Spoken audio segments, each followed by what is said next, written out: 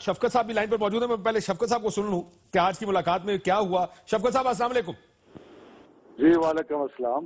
شفقت صاحب جو خبر آپ کی ملاقات کے بعد اندر سے آئی آپ نے کہا کہا ذاتی میں ملاقات کرنے آئے انہوں نے کہا کہ جی سود مند ثابت نہیں ہوئی ناکام ہوئی ہے معاملات جوں کے تو ہیں۔ یہ بھی کہا گیا عمران خان سے ملنے نہیں جائیں گے جسے ضرورت ہو خود رابطہ کر سکتا ہے۔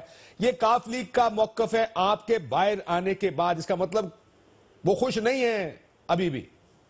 نہیں، میرا خیال ہے کہ یہ موقف اگر کسی ان کے آفیشل سپوکس پرسن کی طرف سے آیا تو پھر مجھے بتائیے، ورنہ ہماری بہت ہی خوشگوار ماحول میں ہماری بات چیت ہوئی اور اس میں جو کچھ خدشات تھے کہ جب نئی کمیٹی بنے گی تو شاید ابتدا سے کام شروع کرنا پڑے گا، وہ میں نے بتایا کہ ایسی بات نہیں ہے۔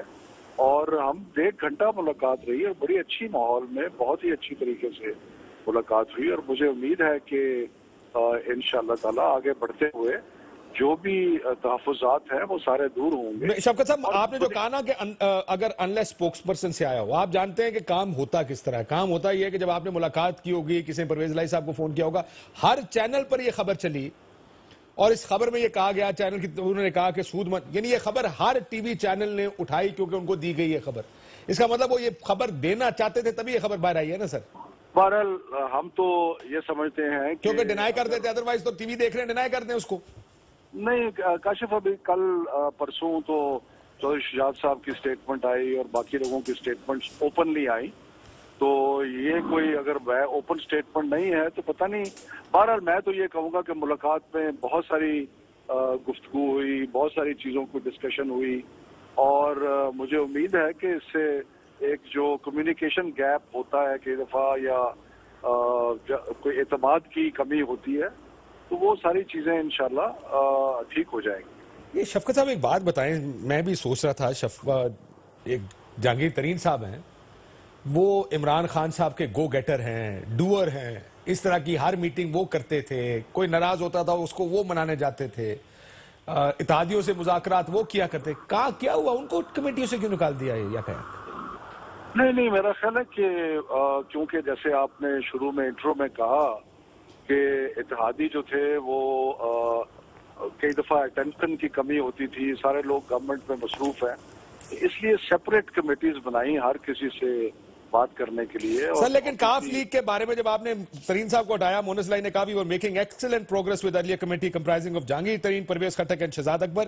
Why is P T I out to self sabotage it self یہ ملاقات ہوئی ملاقات میں آج بات ہوئی ہے کہ ترین صاحب کو واپس لے کر آئے؟ نہیں دیکھیں بات دھندے نہیں یہ تو بات بالکل نہیں ہوئی۔ لیکن بات یہ ہے نا کہ جو مونس صاحب نے فرمایا ہے وہ اس لیے فرمایا تھا کہ وہ سمجھتے تھے کہ شاید جو پروگرس ہوئی ہے یا جو باتیں ہوئی۔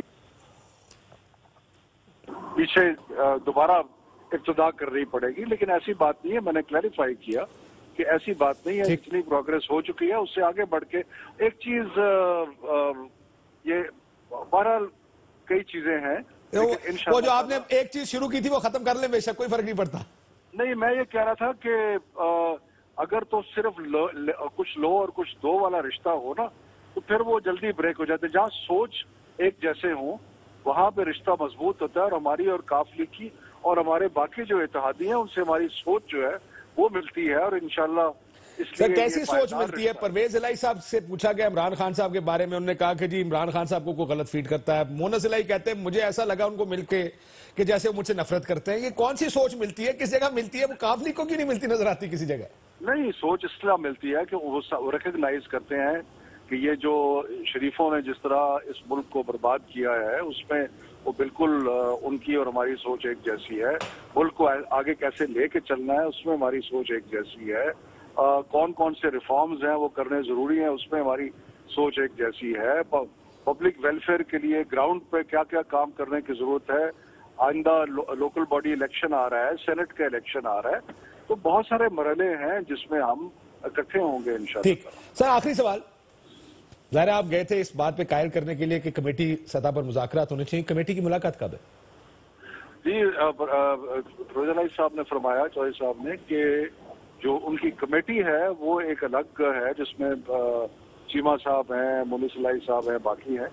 تو اس کی میرا خیال ہے کہ اگلے چار پانچ دن میں، انشاءاللہ امید ہے کہ کمیٹی کی میٹنگ ہوگی تاکہ جہاں سے پہل بات آگے بڑھی تھی اس کو اور مزید آگے لے کے چلیں۔ اس کا مطلب میٹنگ کا کوئی امکان نہیں ہے۔ چلو دیکھتے ہیں اگلے چند دنوں میں یہ کونٹ کس کر بیٹھتا ہے۔ بہت شکریہ شفقت محمود صاحب۔ جہانگیر ترین صاحب غائب ہیں۔ جہانگیر ترین صاحب